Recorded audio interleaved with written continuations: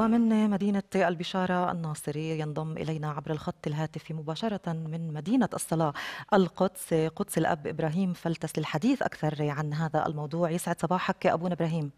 صباح الخير. أنا في مدينة القدس. أهلا فيك. أهلا فيك معنا في هذا الصباح.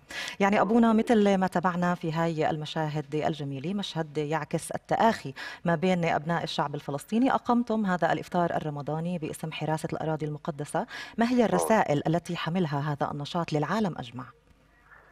هي رسالة آه، تعايش، رسالة سلام، رسالة محبة، رسالة إلى العالم أجمع إنه في فلسطين وخصوصا في مدينة القدس موجود آه، شعب فلسطيني بيحافظ على هذه الأرض وهو أجمل ما أجمل من أي شيء ثاني هو وجود الشعب الفلسطيني في مدينة القدس والمحافظة على مدينة القدس والانتماء لهذه المدينة المقدسة.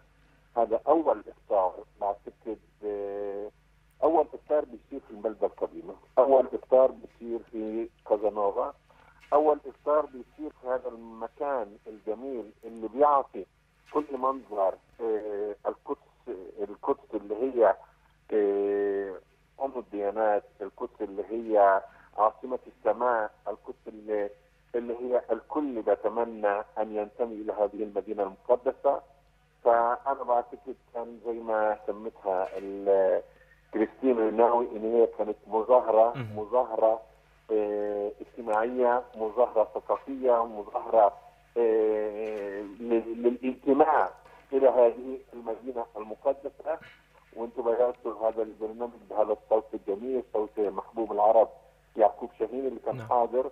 وغنى آه هذه الأغنية أغنية فيروز. كذلك غنى موطني من هذه من هذا المكان المقدس من هذه المدينة المقدسة.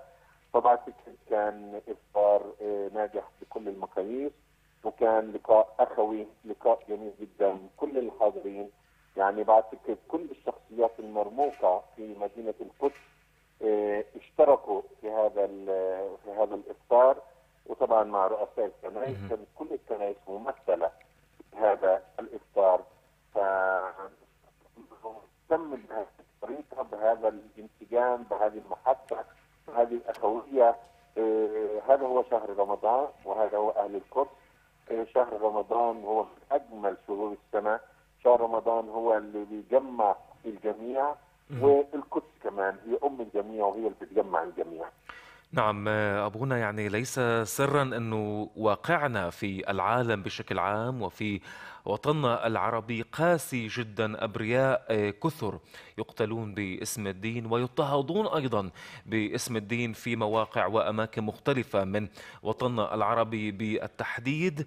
بعد هذه الصورة التي نراها الآن أيضا على شاشتنا صور الإفطار الرمضاني ربما هناك من يقول أنه في فلسطين هنالك واقع آخر آه، المسلم يدافع عن المقدسات المسيحية كما آه، آه، يدافع المسيحي بالتحديد عن المقدسات الإسلامية هل بالفعل نحن أمام واقع مغاير عن العالم العربي هنا في فلسطين؟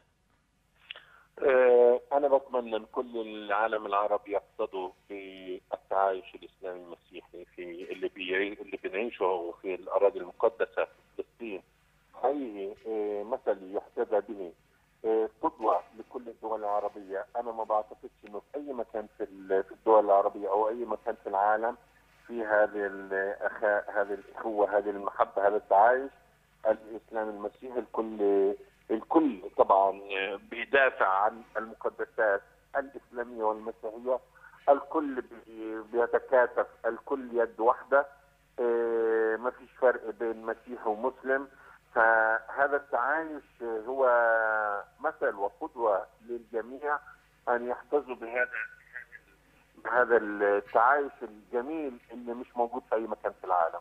نعم. أبونا هذا العام يعني يأتي الشهر الفضيل في ظل إعلان القدس عاصمة لدولة إسرائيل. ومثل ما حضرتك تفضلت أصريت على إقامة هذا الإفطار الرمضاني المبارك في القدس في البلدة القديمة ويعني فلسطين ما زالت تحت الاحتلال ما زالت تقاوم تقدم الشهداء والجرحى من أبنائها. يعني في ظل هذا الوضع ما هي أمنياتكم؟ بداية لإخواننا الصائمين وأيضا أمنياتكم لفلسطين وللفلسطينيين. أمنيتنا للجميع أمنيتنا أن تحل قضية القدس. قضية القدس بتحل زي ما قلنا للي كانوا موجودين على الإفطار أجمل ما في القدس هو وجود الشعب الفلسطيني في القدس المحافظة على الممتلكات في مدينة القدس المحافظة والانتماء إلى هذه المدينة المقدسة. بكده ما بعتقدش أي قرار أو أي أي قرار من أي حد في العالم يقدر يأثر على هذه المدينة المقدسة.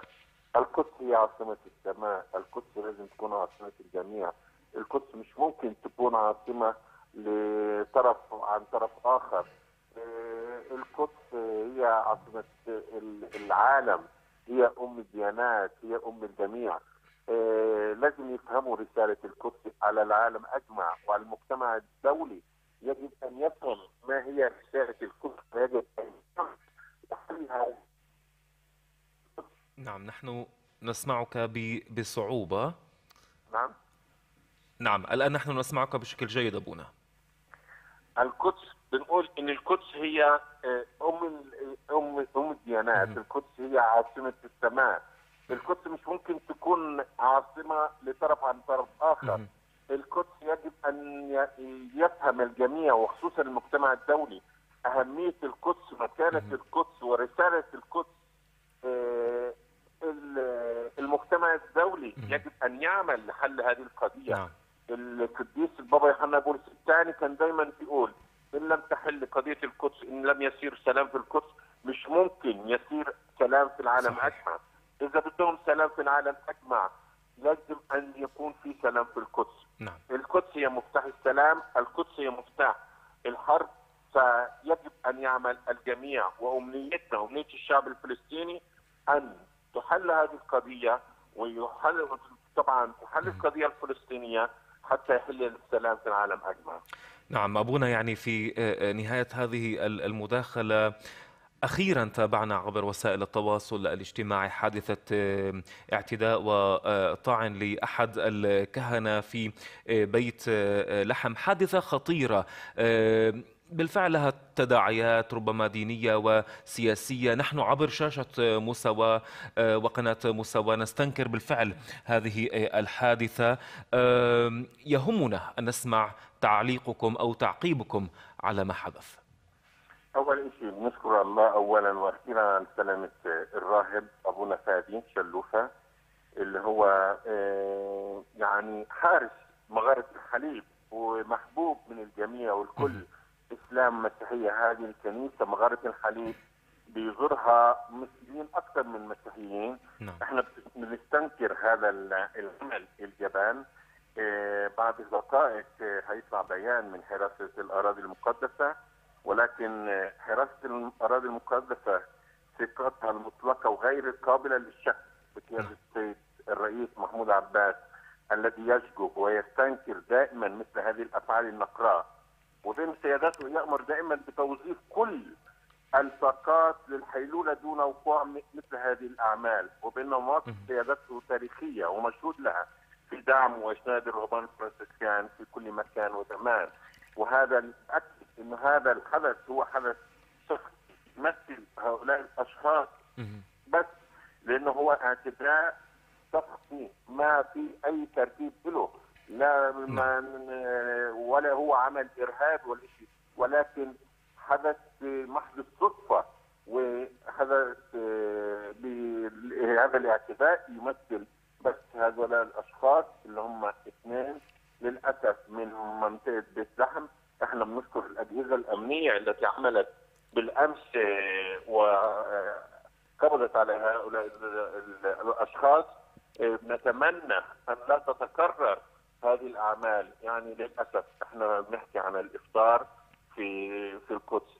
تعرف إنه في نفس الوقت اللي كان فيه الإفطار في القدس صار هذا الاعتداء. نعم. يعني دايما بنلاقي أشياء تتنقص آه على حياتنا تتنقص على آه المبادرات الاجتماعية الجميلة اللي بتصير. وإحنا بنتأسف لهذا لهذا العمل. و أكيد يعني الأجهزة الأمنية آه، عملت كل ما بوسعها للقبض على هؤلاء الأشخاص وهيتقدموا للمحكمة والحراسة كمان آه، لها حقها اللي هي مش هتتنازع عنه الكل بيعرف حقها شرائع نعم. حسب آه، يعني العادات والتقاليد اللي بتمشي في بلادنا فنتمنى إنه هذه الأعمال آه، لا تتكرر مرة أخرى لأنه بتسيء الشعب الفلسطيني على اللي هو غير قابل لهذه الأشياء المشينة الأشياء اللي هي بتسيء لعاداتنا وتقاليدنا ومحبتنا لبعضنا البعض. طبعا. يعني العالم كله يعتبر الفلسطينيين محظوظين ببلداتنا المقدسة. إن كنا نتحدث عن الناصري عن القدس عن بيت لحم نتمنى أن نحافظ على قدسية هذه البلدات وتاريخها العريق. شكرا لمداخلتك معنا في هذا الصباح قدس الأب إبراهيم فلتس مستشار حراسة الأراضي المقدسة. وما أجمل هذا المشهد التآخي والتعايش الديني في فلسطين.